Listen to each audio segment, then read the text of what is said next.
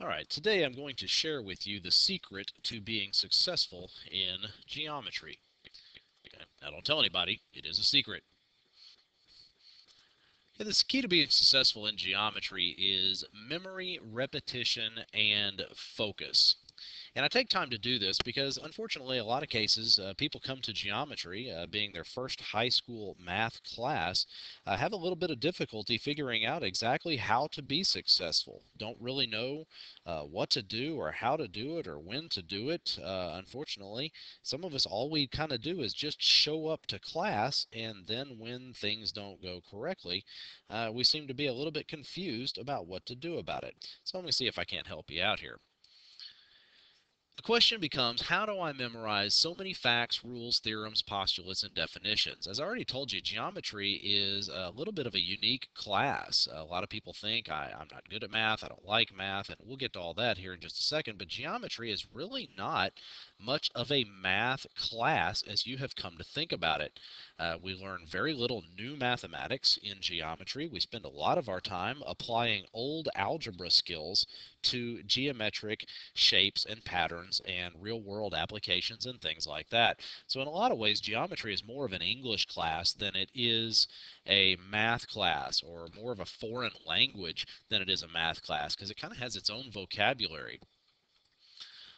Now, different people learn in different ways, okay, but many people are already thinking of all of the excuses that I've already mentioned, a couple of them, uh, all the reasons why we think we are not going to be successful. It's only the second day of school, but already some people have already kind of convinced themselves that they're not going to be successful. So let's look at a few of the more common ones. Of course, there's the, the most popular one I don't like to study.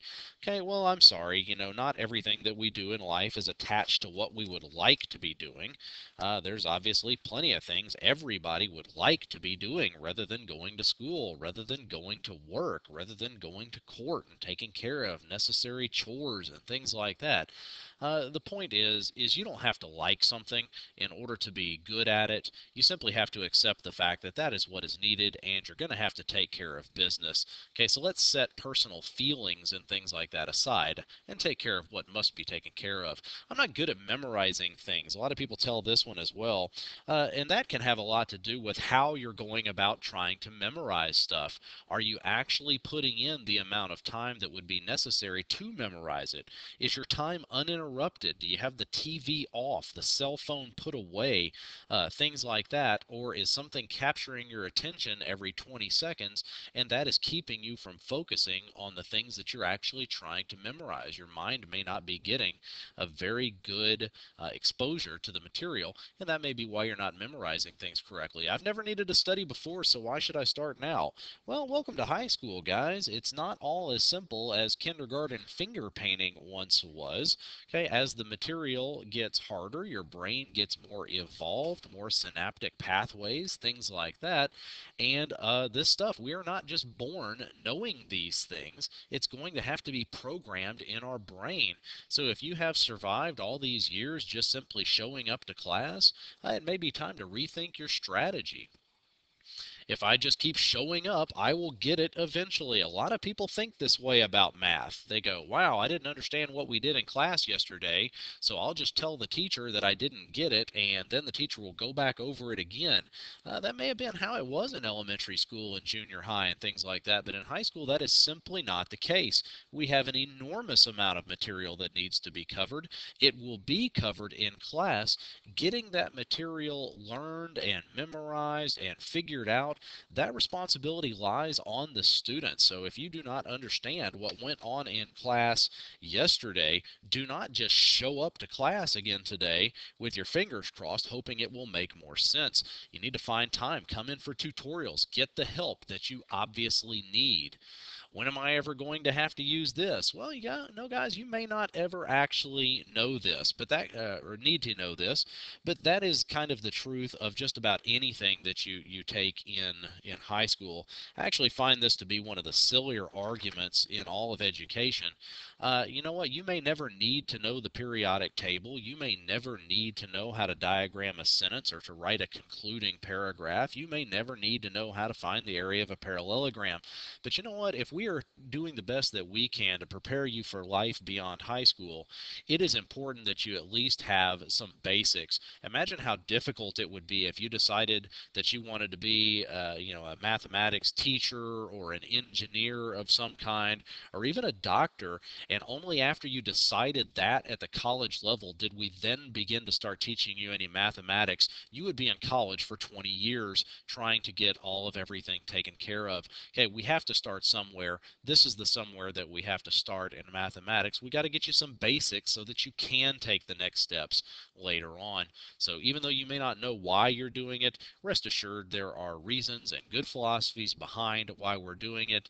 Okay, so let's just suck it up and get it done it's so stupid that they make us learn this. Well, maybe it is, you know, but there's plenty of things that we have to do in life that are just plain stupid. It doesn't change uh, whether we are required to do those things or not. So our personal opinions of those things or whether we think there's value in these things that we're doing really doesn't hold any relevance at all. It's the requirement. Let's get it done. I don't have time to do this. Uh, I will be perfectly honest. Most people think they do not have time to do these things. And uh, the, unfortunately, what they are thinking is it doesn't fit into my current schedule and my current personal life the way that my current personal life is set up. So I'm just going to say I don't have time. What we're not doing is we're not saying, hey, conditions and circumstances have changed. I need to adjust what I'm currently doing so that things can fit in because that's the necessity. The requirement is that we be successful in this course. So adjust your schedule, adjust your life, even if it's inconvenient for you, force things to fit into your schedule so that you can take care of what needs to be taken care of. Fact is, our minds are more powerful than we give them credit for. A lot of times we shortchange ourselves and we don't give us the credit that we deserve on our mental abilities.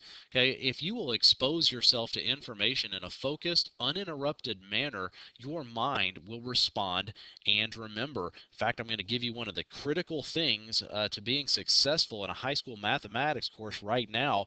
You need to find 20 to 30 minutes every day on the average uh, to dedicate indicate uninterrupted uh, time towards your mathematics studies. People get themselves in trouble when they only sit down for 10 minutes once a week and try to get all caught up or try to study for a test.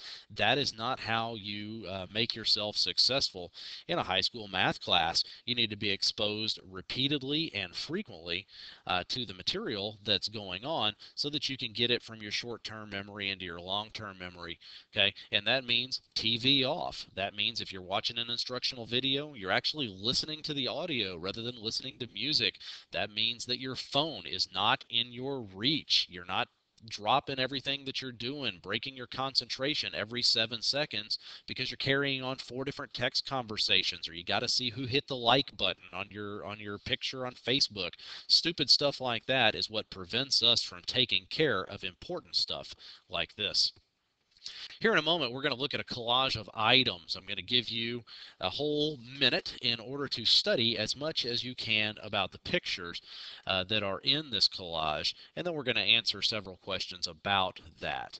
Okay, afterwards we're going to see how well our minds did. We're going to see when we tell ourselves, uh, I'm not good at memorizing things, I can't remember this. Well, we'll see exactly how good or bad we might be.